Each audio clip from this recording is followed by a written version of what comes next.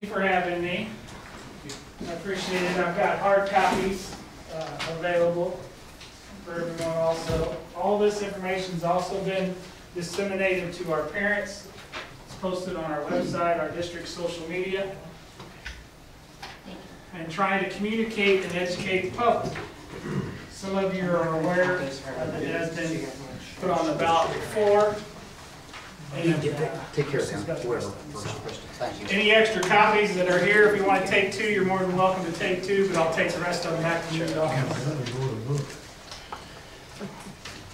And I appreciate your time. Let me come in here. Um, Anytime during this presentation, if you have any questions, just let me know. Um, I'm More than willing to answer those. If I don't have the answers for you, I will find them and get back to you. Uh, but This is an informational, it's been presented to our community and so forth. I've already spoken with the Williamsville Coffee Hour, uh, the Village of Williamsville. Uh, They both approved resolutions in support of this, and the Sangamon County Farm Bureau, who presented to the Sangamon County Farm Bureau. So all those groups. In the meantime, the other area county superintendents are in process of speaking with their villages and cities and uh, looking for a resolution in support of this also. Um, This is information, uh, on November 6th, the voters will have an opportunity to approve and provide funding to school districts in regards to a one cent retail sales tax. The revenue from this Sangamon County school sales tax will be generated from Sangamon County residents and more importantly, from people who travel through and visit uh, Sangamon County, specifically Springfield and all of our communities.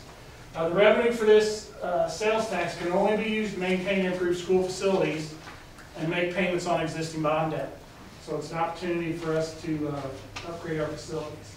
And this Sangamon County sales tax is a shift from relying exclusively on property taxes to fund school facilities. As we know, that's the biggest part of your tax bill that you have, 60, 65% of that is funding the schools off your property tax. So this is a shift from relying exclusively on those property taxes.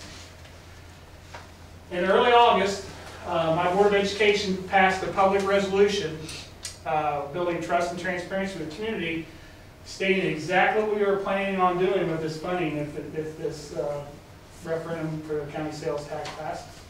We're planning on enhancing our school security and safety, planning on using the revenue to pay off existing annual debt certificate payments, planning on using to pay for health, life, safety expenses. As you're aware, that's fire codes, ADA accessibilities, lighting and so forth that we're required by law to pay for. Well, it's unfor, it's, we are tax cap in a tax cap district, we also have zero debt service extension base, which means we have the inability to borrow money without going to the taxpayers to raise taxes. So even for health, life, safety expenses that we are mandated by the state to fix, we don't have a revenue stream for that. So when we fix our health, life, safety expenses, that comes out of our operating funds. When we take money out of our operating funds, that's taking money away from programs and kids. okay? We will also pay for the deferred maintenance on all of our district buildings, which historically the district hasn't had uh, the revenue to be able to do that. The Board of Education and Mr. Root have been, done a very good job financially, and been good financial stewards to the taxpayers, because our current tax rate ranks 13 out of 19 area schools in regards to the school tax rate. And it went down this year from 451 to 447. The last thing that the district do, uh, we pay for district facility upgrades. And all of this information has came from people from the community on the district vision committee that I created in the nine months meetings that we've had over the last school year. We're starting our 10th month meeting here in September. So all this from, has come from the community to work with the board. When I got here, we needed to develop a long-term financial and facilities plan. And that's what we developed over this. This is a five to 10-year facilities plan once we get through this. Just more information about when it went into effect and available when it started in 20 2007. Um, The county school facility sales tax is one cent on every dollar spent for qualifying retail purchases. Um, Revenue from this county facility sales tax is based on your student enrollment. So obviously, the city of Springfield, District 26, has the most students, they would receive the most revenue. But it's important to note, to reinforce the people, that this revenue generated from this sales tax is generated locally from Sangamon County residents and people traveling to and from Springfield and Sangamon County. Um, As you know, we had 31,000 motorcycles, uh, bikers in for that. We had the state fair, tourism, hotels. Um, This is a shift, and I've been told that during the course of the year, our retail sales tax base is paid from, thirty to forty percent of that is paid from people outside Sangamon County. So people would be sharing the cost of this. Okay, this is a ten-minute video. Like I said, this information is on our website. You're more than welcome to get on the presentation and watch the video if you'd like further information. Obviously, I'm available for conversations too. So it's a tax. The word tax can turn some people off. But this is a retail sales tax for municipalities and county sales on the following items, except it's important for people to understand what is not taxed.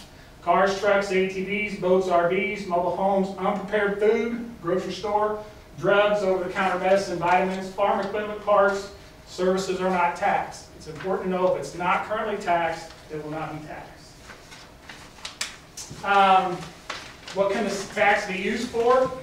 As I mentioned, it's for facilities and maintenance, okay? Improve our safety and security, facility upgrades, new building construction, energy efficiency, funding to keep our roofs, windows, and doors in working order, property tax relief for Sangamon County residents, that's the debt uh, payments, 21st century classrooms, and up-to-date technology and labs.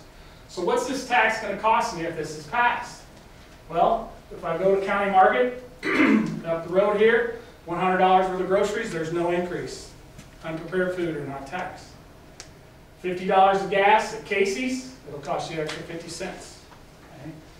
Okay? 20, now, part of this is when I did the Farm Bureau, so when you see $12,000 diesel fuel bill, okay, uh, there's no increase. $35,000 car or truck, no increase. $7 worth of fast food, 7 cents. You buy a TV, which now a $450 TV is kind of an upper level TV cost, uh, $4.50. $40 worth of medicine, and that might be cheap, but there'll be no increase on your medicine. Um, $500 worth of baling wire, if you bought that at retail, at farm and home, it'd cost you $5, but if farmers purchase the, the farm implement or inputs in commercial, like they do their seed, chemical, and so forth, there's no charge. Everybody needs work clothes, and when I spoke to the farmers, $175 of work clothes, that's really not that much, because we're all gonna spend $100, $150 on a pair of boots, so that costs you $1.75. Okay? Um, $580,000 new combine, no increase. Okay, that's pretty important. I talked about the uses of the sales tax already. You have a slide in there in regards to that. It's important to know the uses, what it's gonna cost, potentially what it would cost, and then the ineligible uses. The ineligible uses are over there on the right. It's only for facilities and maintenance. It does not go to salaries or overhead. It doesn't go to instructional costs, textbooks, buses, any movable furniture, computers, or operating costs. Okay, it's strictly for facilities. Um, I reiterated that already. I talked about what it can be used for, those type of things, just a reinforcement. I think it's important for us to note that there's been 51 counties in the state of Illinois that's already passed this uh, county facility sales tax. The one in the green, uh, the green counties have passed it. The ones in the purple are running it this November. Uh, The ones in the blue have failed. So you can see, I'm sure pretty much everybody in this room goes to Lincoln, that's in Logan County. We go to Logan County and spend money, we go to Morgan County and Jacksonville. We go to Christian County and Taylorville. We go to Decatur, we go to Champaign, all along 72, you know, through the Crichton, we're cut, we're cut right in the middle of the state of Illinois. You've got 72 that runs from Vermilion County to Adams County, right through Sangamon, and you've got 55. Two big major transportation arteries that go through the state of Illinois. Those are people that are traveling. So the question is, is it time for people who travel to Sangamon County to help pay for our schools? Because we travel to those other communities, and we're paying for their schools. This is just an example of the revenue that we estimated that the schools would receive in the county. As I mentioned before, it's based on enrollment, so uh, pretty close to $21 million estimate from the county. You can see that Springfield will get 10, Williamsville is estimated around $1,063,000. Okay? People ask and people want to know, and people need to be informed where the revenues go. The revenues do not flow through the Illinois General Assembly. It does not go into the legislators' coffers um, in regards to the way the law is set now. So it's not part of the budget process. Shoppers spend the money in the county. They purchase the retail items that are qualified taxable. The money goes to the Illinois Department of Revenue where they withhold two percent, which is their handling fee. And then the money is transferred to the Regional Office of Education. And our Regional Office of Education in Sangamon and Menard County is located there on Dirksen by the Juvenile Detention Center. So the money goes to there, and Jeff Vose, the regional superintendent, will disperse the money monthly based on your enrollment, and then that's how it gets to the school. If this passes, we're projected to start receiving revenue in October of 2019. But it's important to note that the General Assembly does not come up with this money. This is the ballot language. Uh, It's mandated language that will be on your, on the uh, ballot November 6th. States there shall retailers occupational tax and service occupational tax commonly referred as sales tax be imposed in Sangamon County at a rate of one percent to be used exclusively for school facility purposes. There is nothing else that we can use this money for. My Board of Education has taken a public resolution and stated specifically what they are going to do with it. We get audited. If we do anything else with it, we will have a finding and we'll be in trouble. As I mentioned before, uh, restated, our approved priorities, enhance school security and safety, utilize revenue to pay off existing debt and annual debt certificates, utilize revenue for health, life, safety expenses, revenue for deferred maintenance on all district buildings, and revenue over time for district facility upgrades. This is a five to 10-year facility plan. Our financial plan that we created is, is to accrue three to four months of fund balances in all funds. We'll work on that. So here's some examples I'd like to show you in regards to our deferred maintenance that we haven't had the opportunity to fix and repair, this lack of revenue streams for operations or buildings. Um, you can see the middle school there on the left, uh, gym roof, these are all need to be re-roofed. Um, to the right is Sherman Elementary School. You can see where the drop-off areas of the building, those roofs there, uh, roofs back on the kindergarten wing, and then roofs there in the middle of the building. High school roofs on your right, are repaired and all these roofs leak, and I'll show you an example on how we capture water. Uh, we got some rains coming in on uh, Wednesday night, we're getting prepared for that. So then to the junior high building on the right, you can see the old sixth grade wing down here at the bottom, uh, where number one is, number two over the old gym, uh, junior high, and then three, and then primary school there. So we've been fixing, repairing.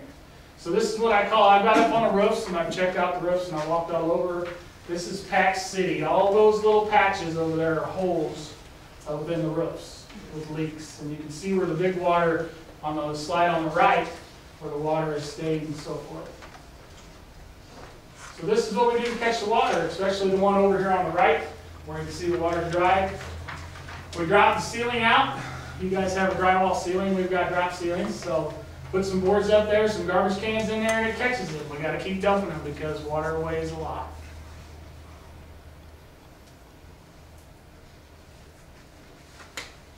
This is another example of high school seams that need to be re-roofed. This is our HVAC systems. All of these items are the priorities of the Board of Education. Um, This is an older HVAC system. You can tell by the amount of sheet metal, the condensation and heat that's transferred and lost. It's not a very efficient facility that you have. And this is just an example of the upstairs HVAC for the high school. I've got some estimates in regards to potential costs. If we did HVAC lighting and roofs uh, for all of our buildings, it's five point six million dollars, broken down by each building there. This is another example, if we phase this in within regards to plumbing, ADA, fire alarm, architectural upgrades, uh, ten point five million. This is a little bit more of an expansive job, but this is, would be paid for by a revenue stream generated from everyone in Sangamon County based on our enrollment. School security, we're taking the needed steps for that, and I sent out an informational email to the community tonight in regards to our school security platform upgrade. So we're moving forward, we've got cameras, door locking systems, buzzer systems, so we're moving forward with our school security. Just here's some examples. Uh, All this information, I think it's very important to note because we had great community output from the people of Williamsville and Sherman to participate on this district vision committee and the conversations that we had. Um, All this information came from them. This is an example of an elementary classroom upgrade, finishes and paint. This is our current high school band room. We appreciate, and we have a great fine arts program. This is a very crowded, small room, example. This would be an example of an upgraded band room. Uh, Specifically, this is MacArthur High School in Decatur, in Macon County, the same county, Macon County, sales tax has been in effect for about five years, I believe. So This is what they've done for their facilities. An Example of our course room. Example of an upgraded course room. This is our current fine arts gymnasium. I respect this gym, I think it's a wonderful facility. I appreciate the history that's in this.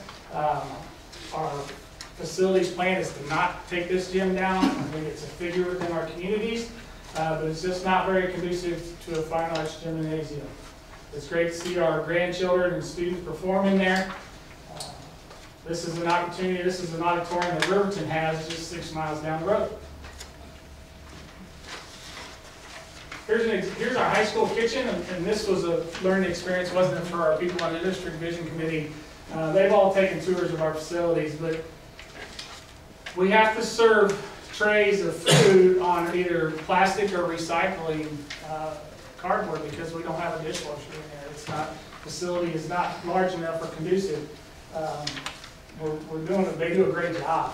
I mean, they serve over four hundred lunches a day in there. There's five ladies, and this room is bigger than our kitchen. Okay, so the picture probably doesn't do justice. but, um, That's our cafeteria. It's not large enough to hold all of our students. Uh, we have to break our lunches up. Kids are eating in the hallway, uh, those type of things. This would be an example of an upgraded kitchen and cafeteria. Obviously, the sales tax revenue would do work with facilities. This is our locker rooms. They're a lot more crowd- crowded than this. This is a clean time before kids got in there.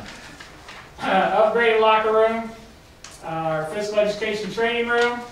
Uh, it- that room is about the size of this room, and there's thirty-five to forty kids in a class. For example, this is Plains, this is what Pleasant Plains has, an opportunity for their physical education trainer.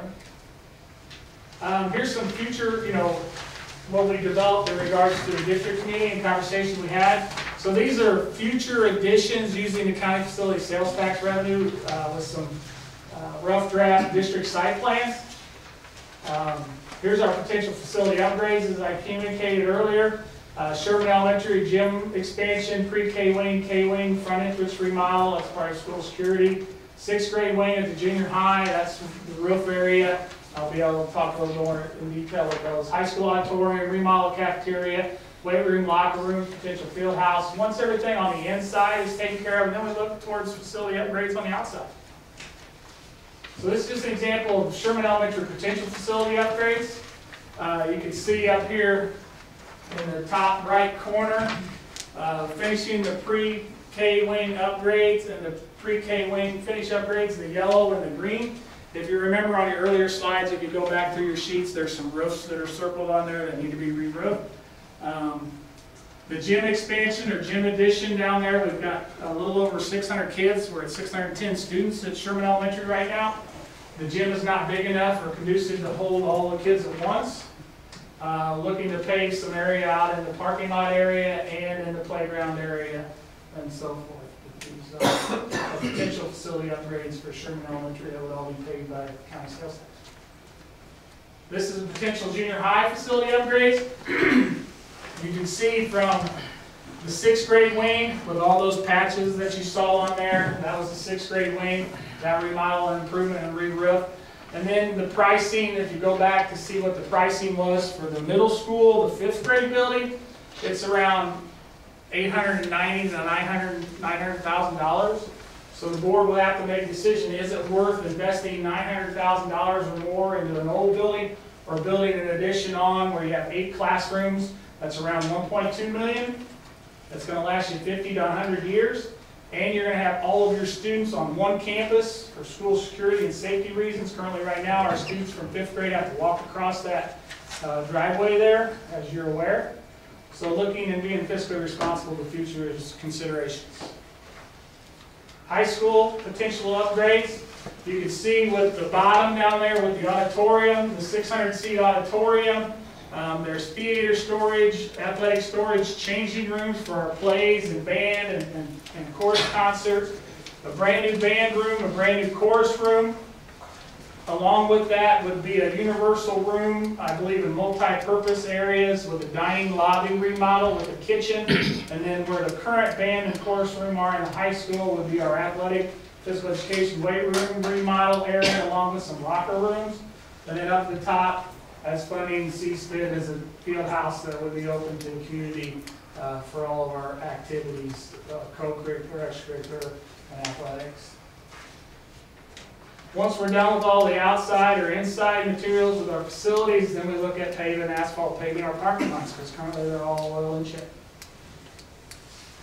So, as I've stated before, we haven't had the revenue over the past few year- few years to maintain our facilities and our buildings. We've been patching and band-aiding, and this is an opportunity that would, uh, much needed revenue for these types of activities. Uh, The board is and charged me to communicate to the public, and we would just like people to have accurate information when they go to the polls on November sixth. I'm free to speak to anybody, any organization, or sit down with any of you one-on-one. Uh, The communities that have passed this at this time are uh, Riverton, Williamsville, I mentioned the Sangamon County Farm Bureau, and then the rest of the superintendents are talking to their communities within this next month. Are there any questions of the board members for Mr. Reedy? I have a question. You mentioned earlier that uh, it doesn't, the stream does not go through legislature, it goes straight to revenue. And you said their charge to it was, it was gonna be two percent, one percent was gonna be the tax, and one percent was their charging fee? No, two percent is their handling fee. So the money's purchased in the retail, it goes to the Illinois Department of Revenue, they withhold two percent, and then that money goes to the Regional Office of Education. They get two percent of the total. They get two percent of twenty-two million, Right, so then that's how they came up with Okay. twenty million. all right, I would, I- okay, that sounds a lot better than what I thought you said. Right, and then it goes to the students, to our schools. And if it passes, it'd be October of twenty nineteen before we'd start seeing monthly revenue. We currently receive revenue monthly from Logan County right now, Would about this, uh, thirteen hundred dollars a month. 'Cause we don't have very many kids Would this reduce our but it's great, Right. you know, Property tax? Thank you. absolutely. But I I can't ask it, Any other questions? I'm not allowed to ask it. Only the board members. Well, thank you for your time. Like I said, I'm open. If anybody would like to talk to me, I'm more than happy to. So what happens?